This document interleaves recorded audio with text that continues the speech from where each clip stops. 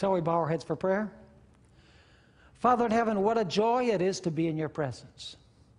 And Father, as we open your holy word, we ask, we plead for the guidance of your Holy Spirit. Give us, Lord, clarity of thought, and give us also willing hearts to receive your word.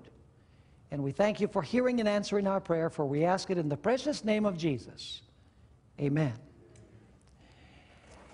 The title of our study today is The Abomination of Desolation. Now, in our last study, we touched briefly upon the abomination of desolation as it related to the first destruction of Jerusalem in the year 586. But in our study today, we are going to deal with the second destruction of Jerusalem in the year 70 AD. And we cannot understand the destruction of the city unless we understand the events that led up to the destruction of the city. And so, what we're going to do is begin our study in Matthew chapter 24 and verse 5. And we're going to notice a clear line of events in sequence, one event right after another. Also, I must warn you that we're not going to read texts exclusively from the Gospel of Matthew.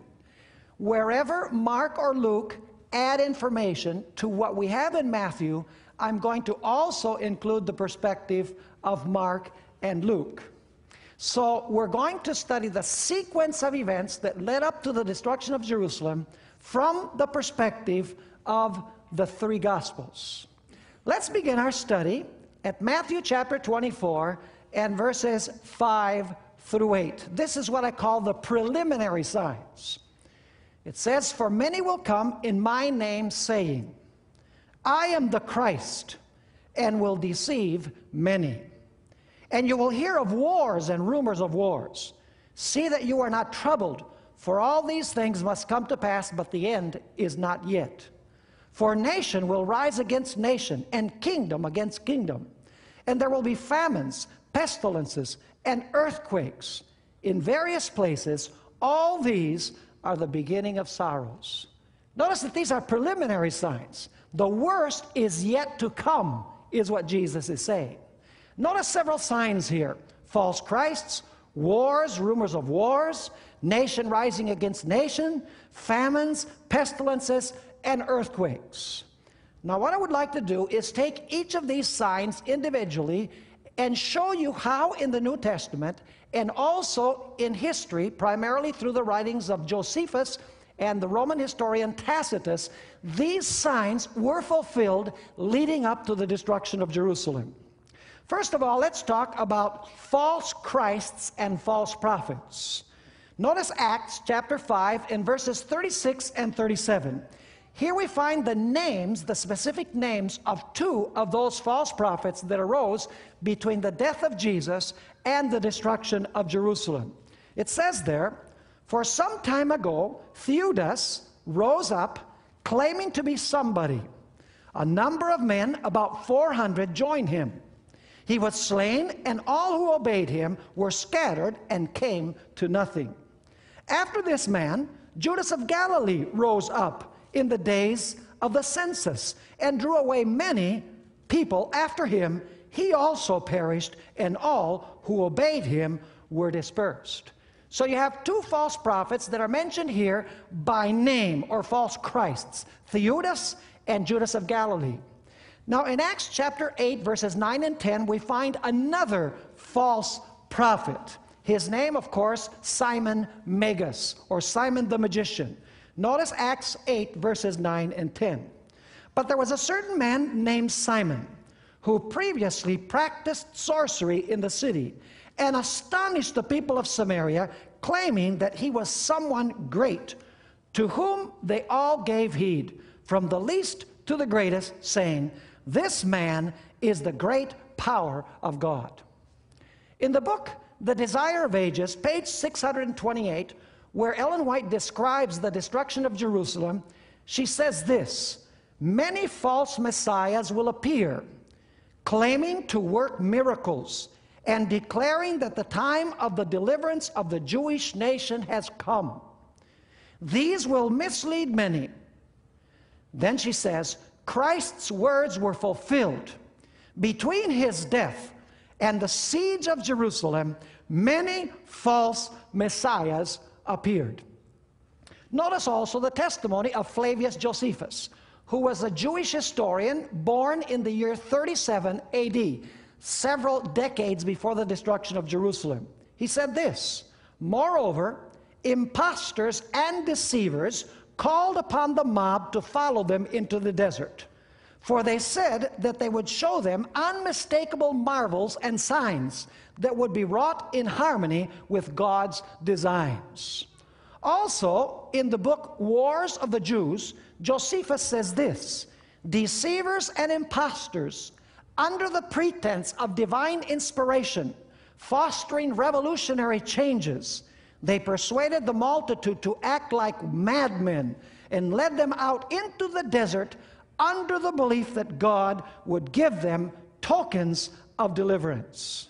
Once again, Josephus, in his work, Antiquities of the Jews, had this to say about false prophets that led up to the destruction of Jerusalem. He said, In Judea, matters were constantly going from bad to worse. For the country was again infested with bands of brigands and impostors who deceived the mob. So there were false Christs and false prophets by the testimony of Scripture and also by the testimony of Flavius Josephus, the Jewish historian. Now, what about wars and rumors of wars and social unrest? There was much of that as well. You know, Jesus was born during the period of what has come to be known as the Pax Romana, in other words, the Roman peace. And according to Roman historians, this period from 17 BC, during the emperorship of Augustus, all the way till the year 67 under Nero, there was an unparalleled peace in the history of the Roman Empire. That is, until Nero sent Vespasian the, his general to quelch the rebellion that was taking place in the city of Jerusalem. And then everything fell into disarray, everything fell apart. And no longer was there peace anywhere. There were natural disasters everywhere, as we're going to notice. In fact, there were many wars because Vespasian, as was his policy, as he went to Jerusalem, he finished off every nation that he found in the way so that they would not interfere in the destruction of Jerusalem. In fact, Josephus says that it was his strategy to leave nothing outside of Jerusalem behind him that might interrupt in the siege. There are many wars. Notice Desire of Ages, page 628. Prior to the destruction of Jerusalem, men wrestled for the supremacy. Emperors were murdered those supposed to be standing next to the throne were slain. There were wars and rumors of wars. In fact, we know that the Jews themselves had battles with the Ascalonians, the Samaritans, the Alexandrians, and the Syrians just a few years before the destruction of Jerusalem. Tacitus, the great Roman historian who lived from the year 55 till the year 117, AD had this to say about this period. He said, The history on which I am entering is that of a period rich in disasters, terrible in battles, torn by civil struggles, horrible even in peace. Four emperors failed by the sword. There were three civil wars, more foreign wars, and often both at the same time. And Josephus had this to say all was in disorder after the death of Nero. And so there were great numbers of wars and rumors of wars that led up to the destruction of Jerusalem, both according to Scripture and also according to the Jewish historian Josephus and the Roman historian Tacitus. Now, what about famines and pestilences between the death of Jesus and the destruction of Jerusalem? In Acts chapter 11 and verse 28, we find the mention of one of these horrendous famines. It says there in Acts 11 and verse 28, Then one of them, named Agabus, stood up and showed by the Spirit that there was going to be a great famine throughout all the world, which also happened in the days of Claudius Caesar. By the way, Josephus calls this famine the Great Famine. And if you read in Antiquities of the Jews, as well as in Josephus's book Wars of the Jews, he mentions many other famines that also took place around the same time. Ellen White, in the book The Great Controversy, page 32, concurs with Josephus with these words Thousands, speaking about Jerusalem, thousands perished from famine and pestilence. Natural affections seem to have been destroyed. Husbands robbed their wives, and wives their husbands. Children would be seen uh, snatching the food from the mouths of their good parents. In fact, Lamentations chapter 4 and verse 10 was sung, as I mentioned in our last lecture, in conjunction with this destruction of Jerusalem. And the book of Lamentations, chapter 4 and verse 10, speaks about mothers eating their children because of the severe famine. Notice what it says there the hands of the compassionate women have cooked their own children, they became food for them in the destruction of the daughter of my people. In fact, this was a fulfillment of one of the curses of the covenant that are mentioned in Deuteronomy chapter 28 in verses 56 and 57. God had said that if Israel did not obey his voice and follow his covenant, that things like this would occur. Ellen White in Great Controversy, page 31, describes the hunger in the city this way So fierce were the pangs of hunger that men would gnaw the leather of their belts and sandals and the covering of their shields. Great numbers of the people would steal out at night to gather wild plants growing outside the city walls. Though many were seized and put to death with cruel torture, and often those who returned in safety were robbed of what they had gleaned at so great peril. So there were severe famines, terrible hunger, especially once the city of Jerusalem was besieged.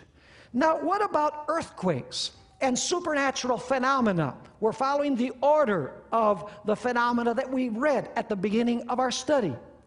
Tacitus, the Roman historian, in his book, The Annals of Tacitus, describes earthquakes in Crete, Rome, Apamea, Phrygia, Campania, and Laodicea, and also Pompeii just before the destruction of Jerusalem. That's a lot of earthquakes in a lot of places. In fact, Tacitus described one of these earthquakes during the emperorship of Claudius. He says this Houses were flattened by repeated earthquakes, and as terror spread, the weak were trampled to death by the panic, panic stricken. The Roman writer Seneca speaks of quakes that took place in Asia, Achaia, Syria, and Macedonia. In fact, Ellicott, the great commentator, said this about this period between the death of Jesus and the destruction of Jerusalem. These are his words Perhaps no period in world's history has ever been so marked by these conditions, that is, earthquakes, as that which intervenes between the crucifixion and the destruction of Jerusalem. Flavius Josephus says this about this period and these supernatural phenomena.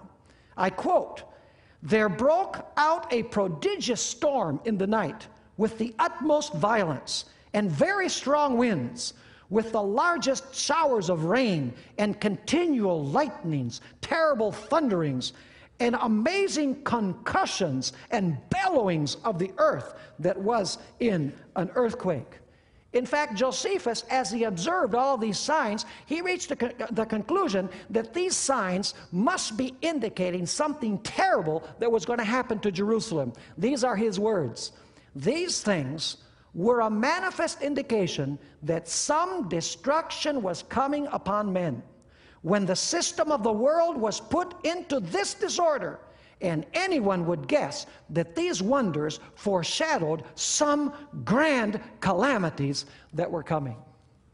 Now, there's a detail that's not mentioned in Matthew, and I brought this out in our first study together, and that is that there were also going to be troubles The word troubles describes social unrest. Notice Mark chapter 13 and verse 8. Mark chapter 13, verse 8. There were going to be troubles and riots and tumult and civil unrest. This is what Mark 13, verse 8 says For nation will rise against nation, and kingdom against kingdom. And there will be earthquakes in various places, and there will be famines, and then it says what? And troubles. These are the beginning of sorrows. That word troubles is the same word that is used to describe the mob that cried out, Crucify him, crucify him. You know, where there was more and more disorder and more tumult among the crowd.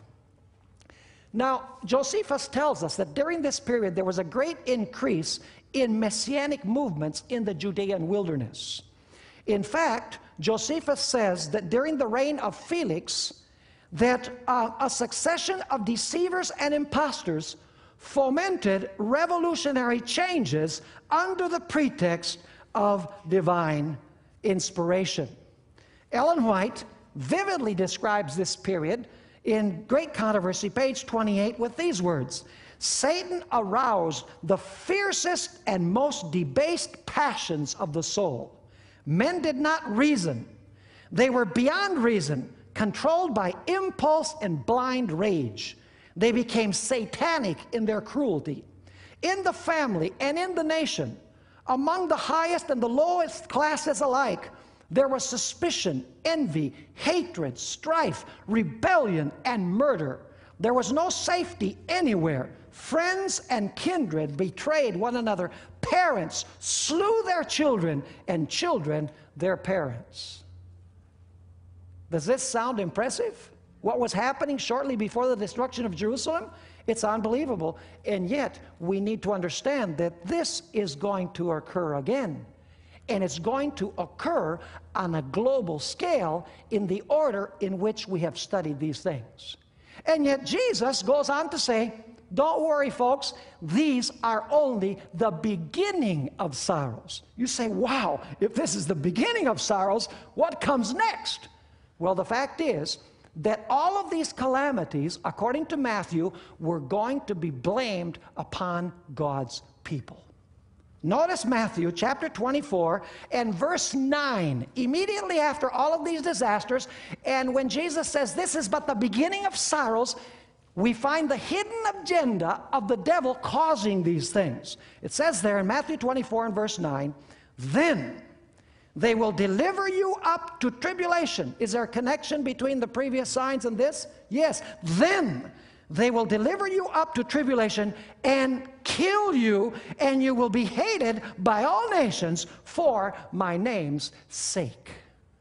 So, all of these calamities are actually caused by Satan with the intent that God's people would be blamed for everything that was happening in the natural world, in society, and in the political world, as well as in the religious world. Between the death of Christ and the destruction of Jerusalem, God's people were mercilessly persecuted. For example, in Acts chapter 5 and verse 41, we find Peter and John being persecuted. It says there in Acts chapter 5, verse 41, and they departed from the presence of the council, rejoicing that they were counted worthy to suffer shame for his name. See, the shame is for the name of Jesus. In Acts chapter 8 and verse 1, we find reference to a great persecution. It says there, now Saul was consenting to his death, that is, to Stephen's death. At that time, a great persecution arose against the church which was at Jerusalem, and they were all scattered throughout the regions of Judea and Samaria, except the apostles. We all know about the persecutions of Saul of Tarsus against the church of God. By the way, Jesus had predicted this that many individuals would seek God's people to kill them, thinking that they were actually doing God a favor. Do you remember the words of Caiaphas, where Caiaphas says, It's necessary for one man to die and not for the nation to disappear or to be destroyed? There he revealed that he thought that Jesus was going to lead to the destruction of Jerusalem and they needed to get rid of Jesus. But by getting rid of, rid of Jesus, that eventually led to what? That eventually led to the destruction of the city of Jerusalem. By the way, we know that Peter was crucified. And we know that Paul was beheaded. Both of them because of their faith in Jesus Christ. In John chapter 16, verses 1 and 2, Jesus predicted that many of God's people would be persecuted in the name of righteousness. It says there, These things I have spoken to you that you should not be made to stumble. They will put you out of the synagogues. Yes, the time is coming that whoever kills you will think that he offers God what? That he offers God service. Now you notice as we compare the Gospel of Mark that this persecution would lead God's people to be taken before kings and rulers to witness for their faith. In other words, the calamities would cause persecution, but the persecution would lead God's people to be in the presence of kings and rulers to testify before them. Notice Mark chapter 13 and verse 9. But watch out for yourselves, for they will deliver you up to councils, and you will be beaten in the synagogues. You will be brought before rulers and kings for my sake, for a testimony to them. In other words, the persecution was meant to get rid of God's people, but by the persecution, actually God's people were led to give testimony before the great political and religious rulers of the world. And thus it was that the Apostle Paul appeared before Felix. Notice Acts 24 and verses 24 and 25. Acts 24 and verses 24 and 25. It says, And after some days, when Felix came with his wife Drusilla, who was Jewish, he sent for Paul and heard him concerning the faith in Christ. Now, as he reasoned about righteousness, self control, and the judgment to come, Felix was afraid and answered, Go away for now. When I have a convenient time, I will call for you. Notice that he was shaken up by the message that the Apostle Paul gave him. The question is, why was he shaken up? The reason is very simple. God gave Paul and Peter and all those who appeared before the kings the gift of the Holy Spirit so that they could witness with power. Notice also the testimony of the appearance of the Apostle Paul before King Agrippa. Notice, for his faith, he's appearing before the king. It says in Acts chapter 26 and verses 1 to 3 Then Agrippa said to Paul, You are permitted to speak for yourself. So Paul stretched out his hand and answered for himself. I think myself happy, King Agrippa, because today I shall answer for myself before you all concerning the things of which I am accused by the Jews, especially because you are an expert in all customs and questions, questions which have to do with the Jews. Therefore, I beg you to hear me patiently. And we're told in the book Acts of the Apostles that also King Agrippa shook at the testimony that the Apostle Paul gave him. And he even said, Almost persuadest thou me to be what? To be a Christian. We know also that the Apostle Paul appeared before the Emperor Nero. Now, it was in God's providence that these calamities take place and that persecution come so that God's people could be in the courts of kings to witness for God. And when the emergency came, God gave his people wisdom and the Holy Spirit to speak with power. I want you to remember all of these things because the pattern in the end time will be identical. Notice Mark chapter 13 and verse 11. Mark 13 and verse 11. Notice how they received the aid of the Holy Spirit. And by the way, this is in the same sequence of Matthew 24. But when they arrest you and deliver you up, do not worry beforehand or premeditate what you will speak. But whatever is given you in that hour, speak that. For it is not you who speak, but whom? But the Holy Spirit. What did God give them the power of the Holy Spirit to speak?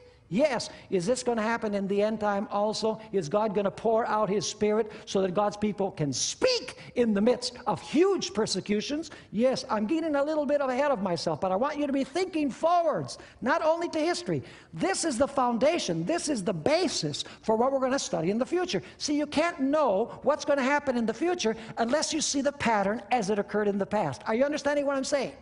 Now, notice Luke chapter 21, 14, and 15. We find another example of this. and how God gives wisdom to speak in times of emergency. Luke 21, verses 14 and 15. Therefore, settle it in your hearts not to meditate beforehand on what you will answer. In other words, don't prepare your speech. For I will give you a mouth and wisdom which all your adversaries will not be able to contradict or resist. Isn't that marvelous? In other words, your, your wisdom, which will be my wisdom, will be so powerful that no one will be able to contradict it. We're also told that as a result of this testimony, which was given, God's people would be hated with an even greater hatred than before. In fact, we're told that Christians would be betrayed by their own friends and by their own relatives. Notice Mark chapter 13 and verse 12. I want you to remember this because in the end time, God's people are also going to be hated by their relatives and by their friends. Mark 13 and verse 12. It says, Now brother will betray brother to death, and a father his child and children will rise up against their parents and cause them to be put to death. You say, This is impossible, Pastor Bohr, that children would betray their parents to death. That's exactly what happened. And that's exactly what's going to happen in the end time as well to those who truly follow Jesus. Notice also, also Matthew 10, 34 to 37. Jesus had predicted this. Matthew chapter 10, verses 34 to 37. Here Jesus says, do not think that I came to bring peace on the earth. I did not come to bring peace, but a sword. For I have come to set a man against his father, a daughter against her mother, and a daughter in law against her mother in law. And a man's enemies will be those of his own household. You see, Jesus and his message brings division, it brings hatred. And God's people had to testify in the midst of great opposition. In the book Desire of Ages, page 629, we find this vivid description. Fathers and mothers betrayed their children. Children betrayed their parents. Friends delivered their friends up to the Sanhedrin. The persecutors wrought out their purpose by killing Stephen, James, and other Christians. Now, the next sign that's mentioned in Matthew 24 is that when persecution came, and God's people had to testify. Many of God's people would be offended at Jesus and would be shaken out. There was going to be a shaking, in other words. There were going to be many who were in the faith that would forsake the faith. Notice Matthew chapter 24 and verse 11. Matthew chapter 24 and verse 11. And by the way, this is in the context of the persecution that is mentioned in the previous verses. It says, And then Notice the word then. Because of the persecution, then many will be what? Will be offended. In other words, they're going to leave the faith, will be offended, will betray one another, and will hate one another. By the way, this happened in real cases between the death of Jesus and the destruction of Jerusalem. You remember when the Apostle Paul was in his second imprisonment in Rome, there was an individual who had embraced the faith. His name was Demas. And notice what the Apostle Paul had to say about Demas. 2 Timothy 4 and verse 10 For Demas has forsaken me, having loved this present world, and has departed for Thessalonica. In fact, the Apostle Paul says that during his second imprisonment, nobody was with him. Everyone had forsaken him. Notice 2 Timothy chapter 4 and verse 16. The Apostle Paul says, At my first defense, no one stood with me, but all forsook me. May it not be charged against them. Actually, the Apostle John had described this moment. He described the case of many people who were among God's people but were not part of God's people. Notice 1 John chapter 2 and verse 19. 1 John 2 and verse 19. Here John says they went out from us, but they were not of us. For if they had been of us, they would have continued with us. But they went out that they might be made manifest that none of them were of us. Now, in this context, also, Jesus predicted that many false prophets would arise. In fact, these false prophets, especially, were those who told the people in Jerusalem, Don't worry, God is with us. God is going to deliver us from the Romans. In fact, they preached peace, peace. This is the same thing that the false prophets did leading up to the destruction of the first Jerusalem, as we noticed in our previous study. Matthew 24 and verse 11. Notice what Jesus had to say about false prophets rising and trying to get God's people to abandon the faith and to follow them. Then many false prophets will rise up and deceive many. Ellen White, in her book Desire of Ages, page 631, says this about the false prophets. And I quote False prophets did rise, deceiving the people and leading great numbers into the desert magicians, and sorcerers, claiming miraculous power, drew the people after them into the mountain solitudes. By the way, in the end time, there are also going to be false prophets. We'll notice this when we study Matthew 24, 23, and 24. False prophets would arise and they would deceive, if possible, Jesus said, even the very elect. In Great Controversy, page 29, Ellen White said this. She said, The religious leaders bribed false prophets to proclaim, even while Roman legions were besieging the temple, that the people were to wait for deliverance from God. Even while the temple was being destroyed, these false prophet was prophets were saying, We are going to be delivered by God. And Flavius Josephus had this to say Now it came to pass, while Fadus was procurator in Judea, that a certain magician, whose name was Theudas, persuaded a great part of the people to take their effects with them and follow him to the river Jordan. For he told them he was a prophet, and that he would, by his own command, divide the river and afford them passage over it, and many were deluded by his words. By the way, the book Acts, uh, the book of Acts of the Apostles mentions one of these false prophets. Acts chapter 13 and verse 6 says this Now, when they had gone through the island to Paphos, they found a certain sorcerer, a false prophet, a Jew whose name was Bar Jesus. Peter also predicted false prophets during this period. 2 Peter 2 and verse 1. But there were also false prophets among the people, even as there will be false teachers among you who will secretly bring in destructive heresies, even denying the Lord who bought them, and bring on themselves swift destruction. Jesus also spoke about a tremendous increase in lawlessness, and he said that the love of many would grow cold.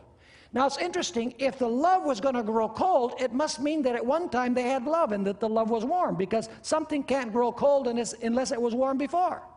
And it's because of the increase in lawlessness that the love grows cold. In fact, notice Matthew chapter 24 and verse 12. And because lawlessness will abound, the love of many will grow cold.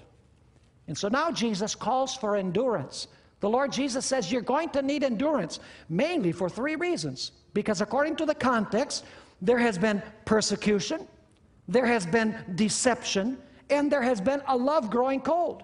And so Jesus is going to say, now, if you're going to remain firm, you're going to need patience or endurance. You can't allow persecution, you can't allow deception, and you can't allow your love to grow cold. Let me ask you, does the book of Revelation speak about a special patience or endurance that God's people are going to need in the end time? In order not to be deceived, in order for their love to stay hot, and in order for them to withstand persecution when it arises? You know that text. Here is the patience of the saints. Here are they who keep the commandments of God and the faith of Jesus. So Jesus calls for endurance. In fact, in uh, Luke chapter 21 and verse 19, we find the parallel passage. Luke says, By your patience, possess your souls. And then comes a very important sign. It's found in Matthew chapter 24 and verse 14. And probably you've read this verse, you can recite it from memory. And this gospel of the kingdom will be preached in all the world as a witness to all the nations, and then the end will come. In other words, God's people would preach the message, and the message would reach every corner of the world of that time. Now, the word world that is used here is not the common word for world. You know, you have the word cosmos, uh, which refers to the planet itself. Uh, you have also the word aion, which refers to the world in its temporal composition. The word here is oikumene. It refers to the inhabited world. In other words, when it says, and this gospel of the kingdom will be preached in all the world, it's speaking about the inhabitants of the world. Now, let me ask you the question Was the gospel preached to the whole world in apostolic times before the destruction of Jerusalem? Yes, it was. Notice Colossians chapter 1 and verse 23. Colossians 1 and verse 23. If indeed you continue in the faith, grounded and steadfast, and are not moved away from the hope of the gospel which you heard now, notice this. The Apostle Paul is speaking. He says, which was preached to every creature under heaven, of which I, Paul, became a minister. So, did the gospel go to every creature before the destruction of Jerusalem? Yes. Is it going to go to the whole world at the end of time? Yes, it is. Notice Romans chapter 1 and verse 8. Romans chapter 1 and verse 8 repeats the same idea that the gospel went to the whole world. Here the Apostle Paul says first, I thank my God through Jesus Christ for you all, that your faith is spoken of where? Throughout the whole world.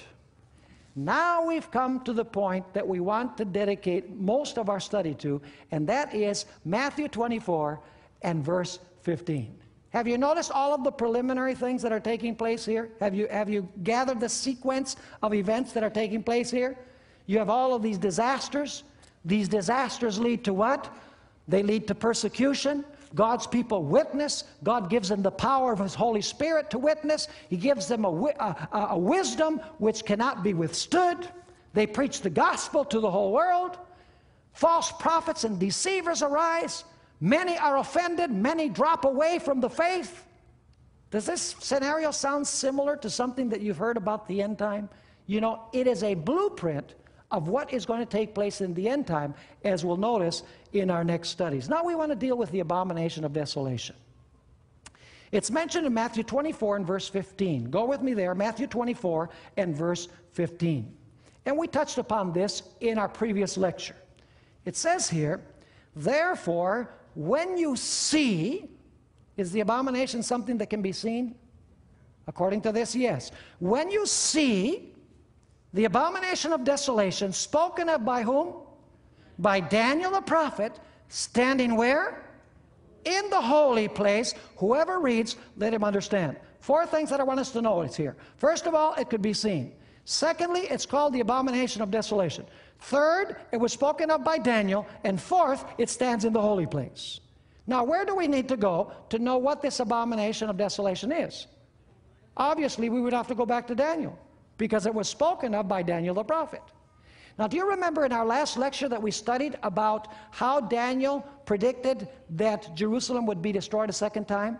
How it was destroyed by Nebuchadnezzar, but after 70 years, there were promises that God's people were going to return. They were going to rebuild the temple. They were going to rebuild the city. They were going to rebuild the walls. And God was going to give them another chance, another chance to obey his voice and follow his covenant. You remember that? But also we noticed at the end of Daniel chapter 9 that Jerusalem was going to be destroyed a what? A second time. In fact, let's read that. Daniel 9, verses 26 and 27. The famous prophecy of the 70 weeks. It says, And after the 62 weeks, Messiah shall be cut off, but not for himself. And the people of the prince who is to come shall destroy the city and the sanctuary. Was Jerusalem going to be destroyed again according to this? Absolutely. The end of it shall be with a flood. And till the end of war, of the war, what? What's the word there? Desolations are determined. Verse 27 Then he shall confirm a covenant with many for one week. But in the middle of the week, he shall bring an end to sacrifice and offering. And notice what the result is. And on the wing of what? Abominations shall be one who makes, there's the word again, desolate even until the consummation, which is determined, is poured out upon the what? Desolate. Did you notice the number of times that the word abomination and desolate are used in these verses? Is this, is this referring to what was going to happen with Jerusalem when it was going to be destroyed the second time? Absolutely. Abomination would lead to what? Would lead to desolation. But the question is, what was this abomination that led to desolation? Well, Luke 21 and verse 20 gives us the explanation and the answer. That's why it's nice to have more than one gospel. Luke chapter 21 and verse 20. Here Luke expresses it in a different way. But when you see, was that in Matthew, seeing? Yes. When you see Jerusalem surrounded by what? Armies. What is the abomination then? It's Jerusalem what? Surrounded by armies. So they could see, when they saw the abomination of desolation, which was what? The surrounding of Jerusalem by armies, then know that it's what? That its desolation is near. So let me ask you was the abomination set up inside the city or outside the city? It was outside. It was the, where the Roman armies were. When you see armies surrounding Jerusalem, which is the abomination, you can know that the desolation of the city of Jerusalem is near. Now, the question is what is it that these armies had that could be called an abomination? The fact is, folks, that we're told by Josephus, as well as other historians, that what the people in the city saw was the Romans coming and placing their standards in the ground as they surrounded the city of Jerusalem. And then they bowed and they worshiped the standards that they carried in front of their legions. In other words, they worshiped them, saying that the, the being that was represented by the standards was actually going to give them the victory over the city of Jerusalem.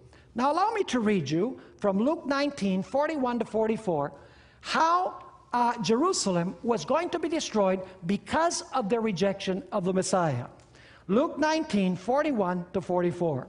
It says, Now as he drew near, Jesus that is, he saw the city and wept over it, saying, if you had known, even you, especially in this your day, the things that make for your peace, but now they are hidden from your eyes.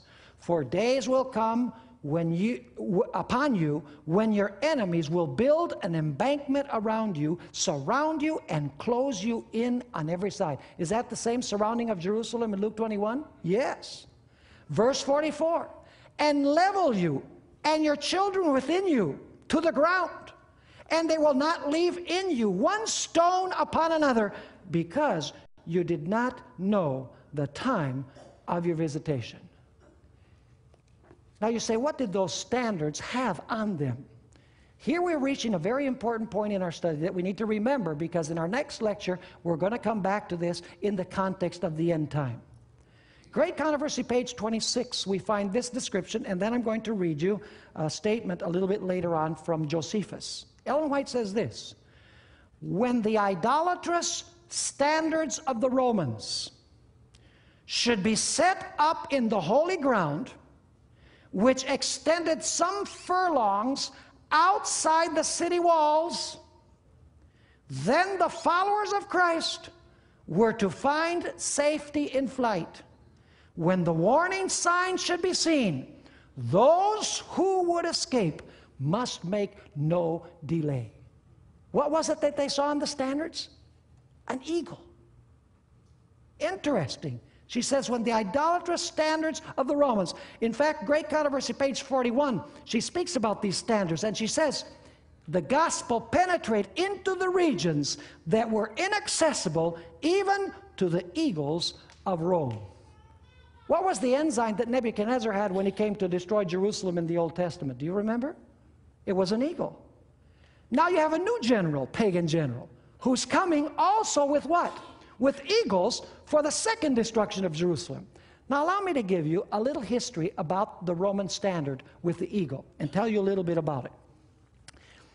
Until the year 104 BC, the, the Romans had many different animals on their standards. Uh, you know, some standards had bulls or snakes or lions or vultures, many different kinds of animals.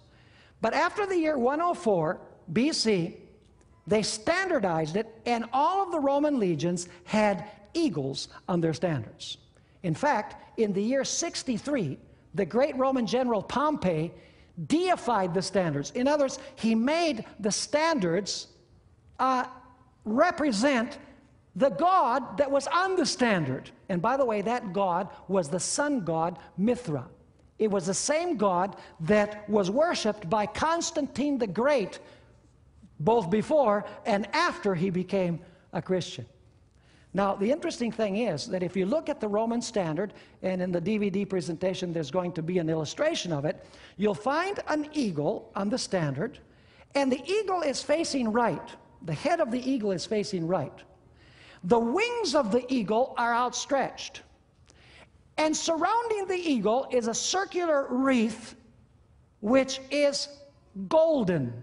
In other words, it is a, it is a golden wreath, round. In the talons of the eagle, it has arrows. Now that's interesting. You have an eagle facing right. It has around it a golden wreath, which, by the way, represents the orb of the sun.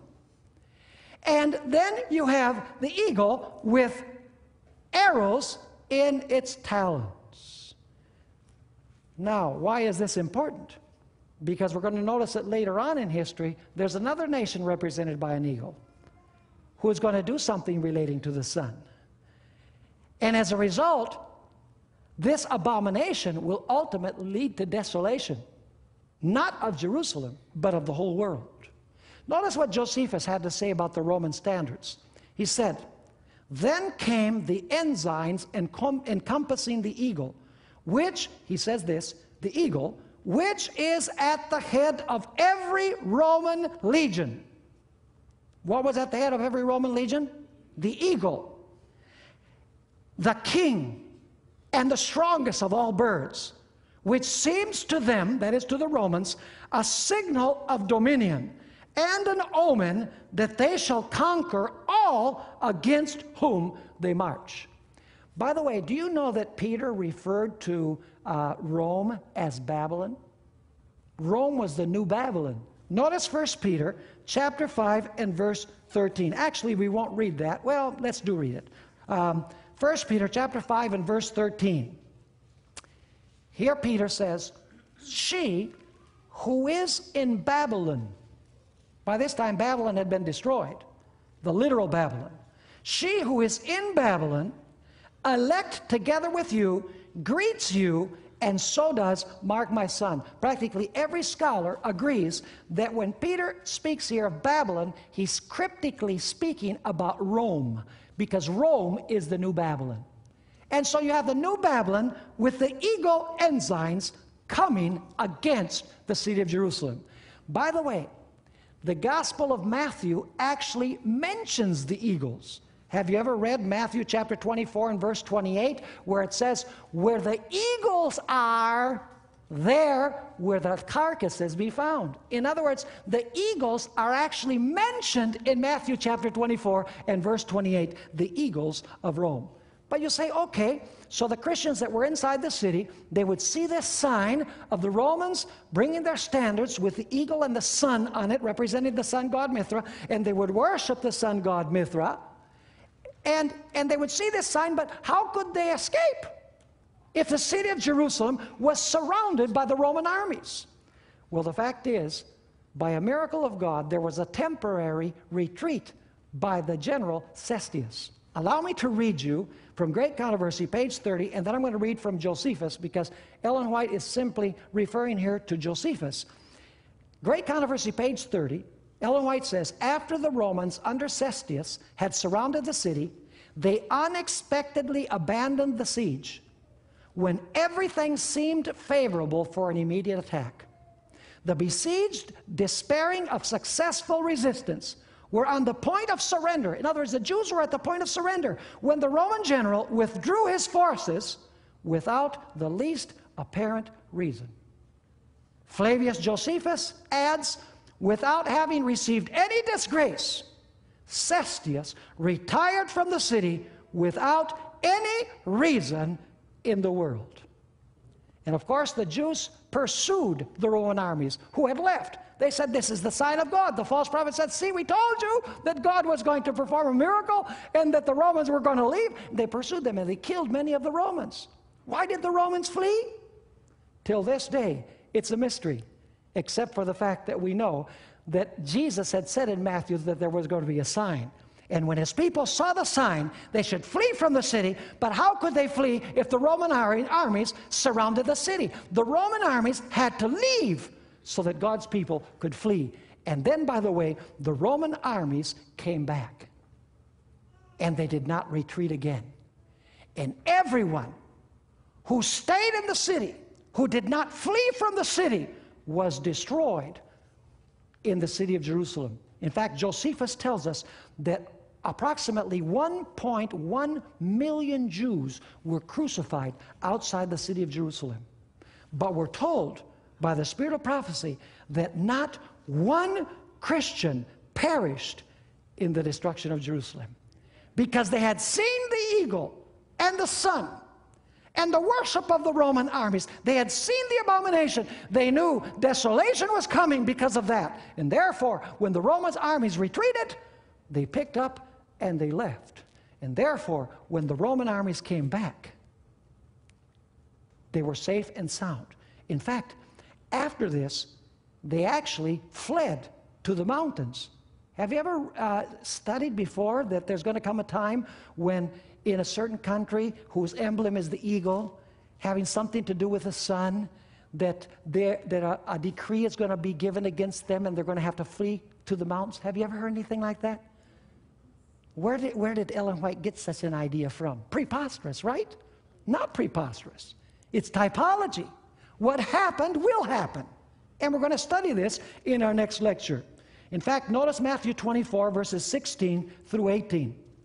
Immediately after the abomination of desolation is put up, when the eagle and the sun is worshiped, immediately it says, Then let those who are in Judea flee to the mountains. Let him who is on the housetop not go down to take anything out of his house, and let him who is in the field not go back to get his clothes. In Great Controversy, page 30, we find these words But God's merciful providence was directing events for the good of his own people. The promised sign had been given to the waiting Christians, and now an opportunity was afforded for all who would to obey the Savior's warning. Let me ask you is it important to watch the signs? Only those who watch the sign escape from the city. Because some people today say, Oh, I'm not interested in what's coming, I'm only interested in who's coming. Well, let me tell you, if you're only interested in who's coming and not what's coming, you're going to accept the wrong who. I can assure you that. Because the signs are necessary so that we will not be deceived. Jesus started this sermon by saying, I give this to you so that you will not be what? So that you will not be deceived. By the way, how many groups in the city of Jerusalem? Two. Was there a separation before the destruction? Yes, there was. Was there a separation before the destruction in the Old Testament story? Was there a sign placed upon God's people? Absolutely. Were they spared when the destruction came? Yes. Also, with this second destruction of Jerusalem, the same happened. Ellen White says in Great Controversy, page 30, not one Christian perished in the destruction of Jerusalem. Isn't that interesting? Not one Christian perished. They were all sealed, marked by God as his people, and they escaped. They came out. And therefore, they were spared. In fact, Josephus, describing the destruction of the city, had this to say The mis- misfortunes of all men from the beginning of the world He's almost quoting Jesus. From the beginning of the world, if they be compare, compared to these of the Jews, are not considerable as they were. In other words, this was the worst calamity since the beginning of the world, is what Josephus is saying. Now, I want you to notice one final thing in closing. Do you know that all of those who fled from Jerusalem kept a very special day? You say they did? Was the Sabbath involved in the destruction of Jerusalem in the Old Testament? Those who were spared, were they Sabbath keepers? Was the city destroyed because it did not keep the Sabbath? Yes, you say, oh, but the Jews, they kept the Sabbath. Yeah, they kept a counterfeit Sabbath. They kept their own Sabbath that the Pharisees had created. But it wasn't God's Sabbath, it was a counterfeit Sabbath. But God had a people who kept the true Sabbath of the Bible. In fact, notice Matthew chapter 24 and verse 20. Jesus is speaking about the destruction of the city. And he says to his followers, when they see the sign and they have to flee, he says, and pray that your flight may not be in winter or on the Sabbath. Do you think that might be true in the end time also? Pray that your flight not, may not be in winter because it would be very cold or on the Sabbath. Are God's end time people going to be Sabbath keepers? What about all the rest? What was the other sign?